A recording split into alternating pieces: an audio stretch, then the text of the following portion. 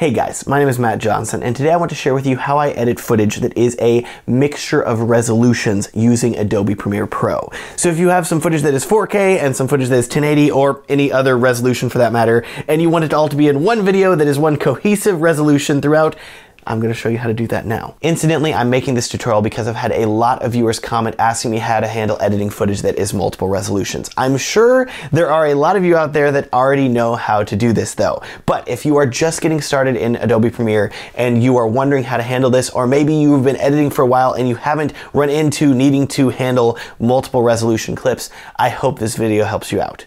Let's jump right into Adobe Premiere. All right, welcome to Adobe Premiere Pro CC 2018. I'm gonna go up here to Help, about, and you're gonna see that I'm on version 12.0.0. If you're on an earlier version, things may be very slightly different, but do not worry, I'm gonna explain how to do things and it should not be an issue. Now I'm gonna go over here to the project window and as you can see, I have two different video clips that I have imported. One of them is 3840 by 2160, which is 4K, and the other one is 1920 by 1080, which is 1080p. And this is the point in the video where you need to decide if you want to export in 4K or in 1080p.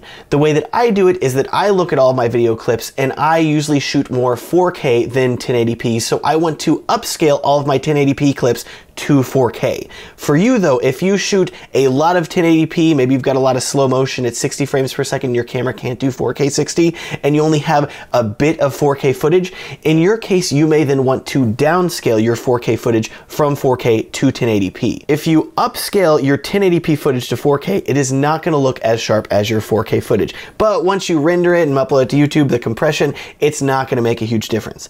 Likewise, if you have your 4K footage and you downscale it to 1080 1080p, it is going to look sharper than your 1080p footage. But like I said, it's not going to be a huge difference. So it is up to you if you want to downscale or upscale your resolution, but at this point you do need to make a decision. Don't worry though, regardless of whether you want to downscale or upscale, I'm going to show you what happens whenever you choose either one. Because I shoot more in 4K than 1080p, I'm going to show you how to upscale your 1080p footage on the timeline first.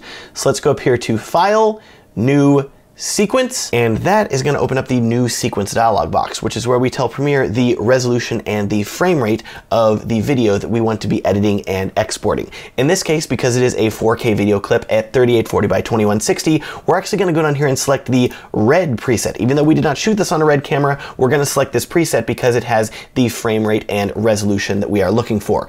We're gonna go down to HD 4K, and we're going to select 4K HD 16 by 9 23.976 which as you can see over here is 3840 by 2160 at 23.976 frames per second which matches up with our video clip. Do not think you all need to use this if you are using a red camera. I'm using a Sony a7S II with this video. It does not matter. What matters is that the frame rate and resolution match up with your video clips. So now that we have that selected, let's go down here to sequence name and we're gonna name this Multiple resolutions. Yeah, that sounds good. Press OK. That is going to create a new video timeline and we are almost ready to begin adding our video clips. But before we do that, we have one very critical settings change that we need to make. What we need to do here is go up to Edit, Preferences, media. And that is going to open up the preferences dialog box for Premiere under the media section. And what we need to pay attention to is this little section here that says default media scaling. You want to make sure that your default media scaling is set to set to frame size. So make sure that's selected and let's hit OK. Do not worry, I'll explain why we had to change those settings in just a second, but for now, let's go up here and start dragging our clips down to the timeline. So I'm gonna go over here to the 3840 by 2160 clip. I'm gonna click and drag it down onto the timeline. And that's a good looking clip. It's nice and sharp. That looks great, but it is quite long. I don't need a five minute long clip. So let's drag that way down and make it a lot shorter. So there is our 4K clip. Next, I'm gonna go up here to the project window and I'm gonna select my 1920 by 1080p clip and I'm gonna drag it down here to the timeline as well. And if I scrub over it, you're gonna see, hey, this looks really good too.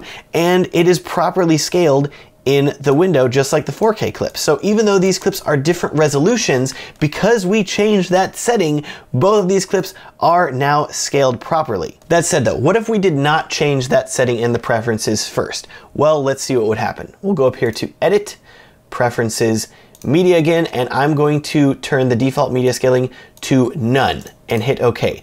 And then if I delete this 1920 by 1080p clip from the timeline, go back up here and drag it down again, Oh man, that is a lot of black bars around this video clip because this is what a 1080p video looks like in a 4K timeline. It is not being scaled, so it is actually quite small. So we do not want this. We want our video clip to be filling the entire frame. Now, what happens if you have a clip and you do not remember to go in and change that setting? What can you do? Well, I have good news for you. You can actually right click on any clip on your timeline that is not properly scaled. You can right click on it and you can go up to set to frame size. Click that and now it is filling the full frame. And by right clicking on this clip and selecting set to frame size, you are doing the exact same thing that we did whenever we went up to edit media and change the setting in there as well. This way you have to do it individually though, I find that the preferences are easier. While I've been going through all these settings, you may have actually noticed there is a third option for scaling. So if I go up here to edit, preferences, media, and I go to default media scaling, you'll see there is a third drop-down option, scale to frame size. Do we want to use that? Is scale to frame size good? No, it's not good in my opinion, because if you set your clips to scale to frame size, then you're not going to be able to actually tell which of your clips are 1080 and which of your clips are 4K without needing to go into the project window and dig through to double check.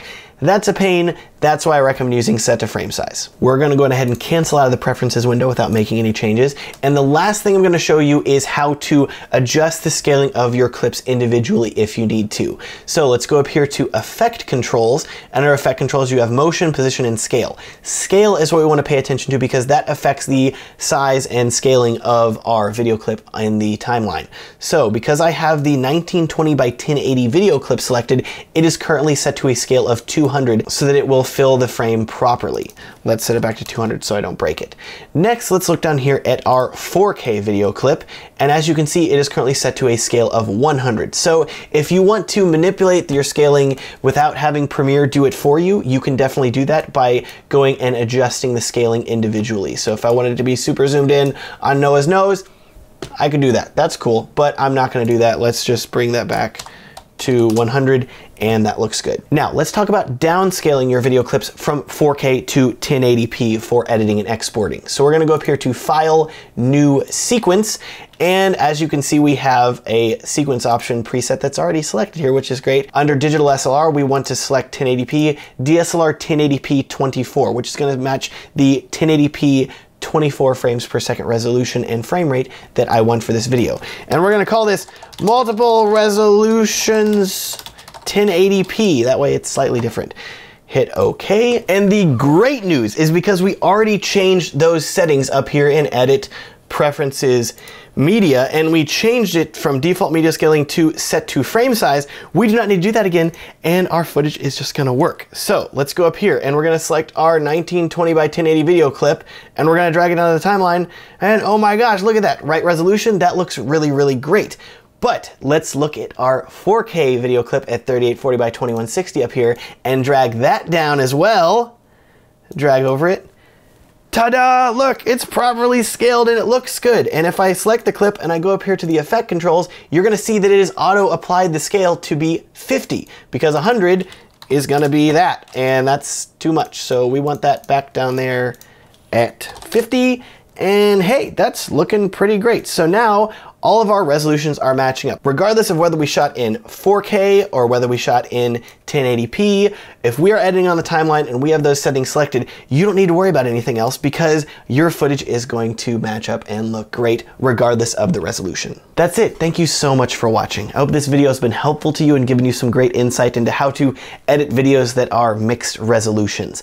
I have another video that I'm going to be coming out with very quickly that's going to cover how to edit video that is mixed frame rates. So if you have one camera that's shooting at 24 frames per second, another camera that's shooting at 60 frames per second, then you switch your first camera to 30 frames per second, and you have all these mixed frame rates on your timeline, I'm gonna show you how I edit that properly and make it look really good. That video will be out very soon. I will link to it up here in the corner and down in the description whenever it is out. As always, if you have any questions or comments, please feel free to leave one below or get in touch with me through my website, whoismatt.com. It is also a enormous help to me if you would consider liking this video and subscribing if you want to see more videos like it in the future. I also have a ton of links down in the description of this video. Links to my Instagram, links to my Facebook, links to one-on-one -on -one consulting with me, links to my newsletter that I send out once per month, links to my wedding film production company. All of that is linked down down in the description of this video. Thank you so much for watching and have a great day.